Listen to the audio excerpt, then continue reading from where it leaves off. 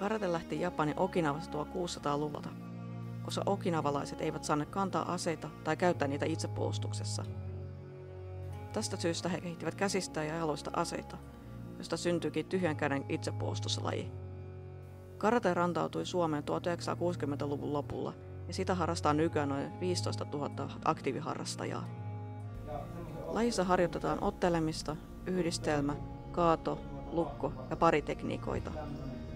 Tasapaino, nopeus ja taito ovat karatessa ensisijaisen tärkeitä. Hyvin harjoitellut karateka eli karaten harrastaja, jolla nämä ominaisuudet ovat huippussaan kehittyneet, pystyy voittamaan painavamman ja voimakkaamman vastustajan. Suomen karateseurat erotellaan toisistaan lajin tyylisuuntien ja niiden painotusalueiden perusteella. Esimerkiksi Joenmaa Vassi karate edustaa Vadoriu tyylisuuntaa, jossa painottuu tekniikoiden luonnollisuus. Karaten harrastajan kokemusta ja taitoa osoittamaan käytetään erivärisiä vöitä. Värit jaetaan seitsemän väriin. Valkoiseen, keltaiseen, oranssiin, vihreään, siniseen, ruskeaan ja mustaan. Mustaan vyöhön pääseminen edellyttää käytännöllisesti katsoen aina vähintään viiden vuoden aktiivista harrastamista. Pääsimme tutustumaan lajiin Joen Mavasi seuran harjoitusten yhteydessä.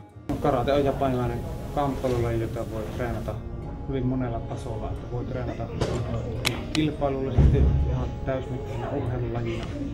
Tai sitten voi treenata niin kuin itse esimerkiksi treenaa, että, että tuota, se on kuntoilumuoto ja elämäntapa, filosofia ja tuota, tärkeä hyvä tapa rentoutua kilpailun jälkeen.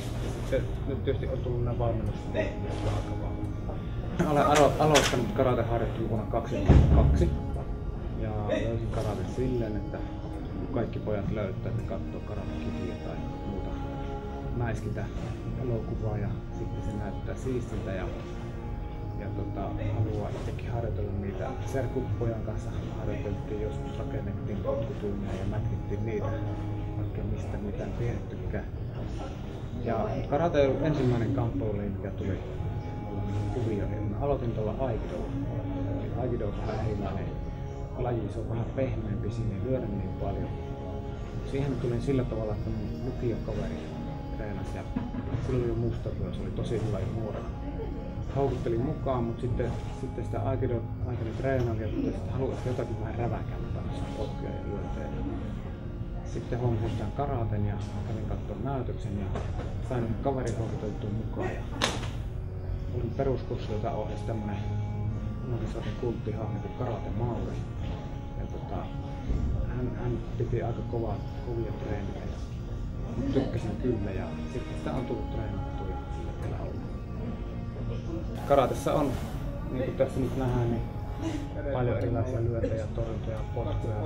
Jokainen japanilaiset on kehittänyt siellä jossa toi vuosia sitten. Ja karate on aika hienostunut tapa treenata näitä kamppailutaitoja. Että niin treenataan hyvin kontrolloidusti, että todella harvinaista on se, että tulee niinku mitään mustelmia tai muita semmoisia osumia. Se on yksi taito oppia pysäyttää sen lyönti millien. Kaikki osaa lyödä ja satuttaa, harva osaa lyödä niin, että se, se niinku ei satuta.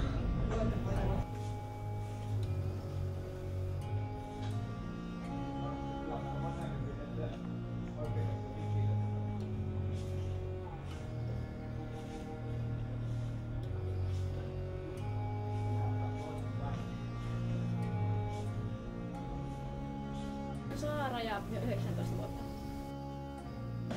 No mie katsoin lehteä ja siitä nyt semmoinen mainos, niin sitten päätin lähteä kurssille. Se sitten nappasi.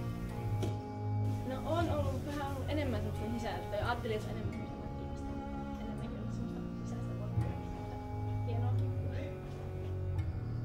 Seuraavaksi mennään puusteloita kokeilemaan. Se on tosi hankala saada. Katsoin nyt, jos se pääsee läpi,